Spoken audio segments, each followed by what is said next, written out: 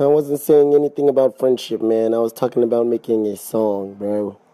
Yo, it honestly hurts my feelings to think that my old friends and like people that I used to chill with think that I would be saying something about them behind their back. In this industry, like this music shit is so stupid, bro. But anyways, check it out, check it out. Now, man, I'm tired of this shit, man. This is like a goddamn white girl in high school, like fucking dating her boyfriend and breaking up every 30 seconds, man. It's Ski Mask Slump God and ex friends that are they beefing, man? I gotta be honest with y'all. The reality of it is that, man, a lot of people think Ski Mask is a snake. Okay, snake why? Because people think that he fell back from X when X defended him.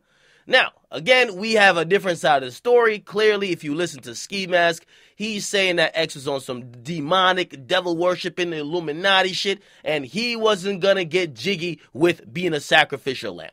Now, where's the truth in all this? Okay, because there's a lot of fans who are saying, even if X was really on that, bro, like, yo, X kind of put you on. Like, you were kind of like riding this wave, and now it gets to the point of clout chasing, okay?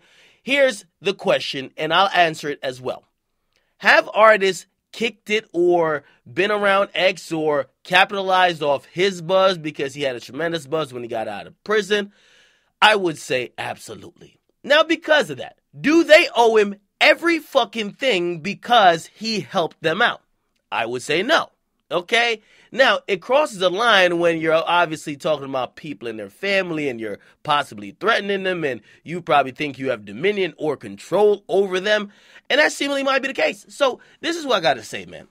Ski Mask, that nigga wanna be BFF with you and Eskimo Brothers, okay? So basically, dog, if you ain't trying to be his friend, his best buddy, his buddy old pal, his blood brother, man, leave that nigga alone, man. Don't ask him for no fucking verse, dog. Leave him alone. Clear, clearly, he wants genuine friendships. He's not trying to fuck with no one just because of music.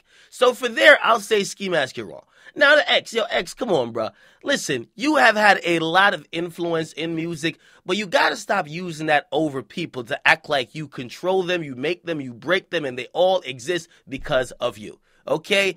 Music is just not a monolith, okay? You don't control everything popping in music. And actually, if we could see what happened this year, some artists have outgrown you and they had nothing to do with you. So again, while you have a tremendous wave, you can't use that over people's head for them to get down with whatever program you're on. And if you really cared about them as you want them to care about you, you would never even use that over their head. Okay? Again, I fully believe in loyalty fully believe in loyalty, but I don't believe in misusing people being loyal to you because what you've done for them to basically get what you want. So what do you guys lie on this matter, man? Listen, I think that Ski Mask is severely talented, but leave X alone unless you're really trying to be friends with him. And for X, man, come on, man, you got to be, st- you can't be as petty as it seems because you helped somebody out in the past. Yo, listen, if you've done some fucked up shit to people, they're not gonna want to fuck with you. That's kind of natural. Get a box you guys like. them, subscribe to Watch Akademiks. Listen, we probably need more information on this shit, but as what we see in the public, I believe I just give a fair assessment. You guys be the judge. Get in the comment box.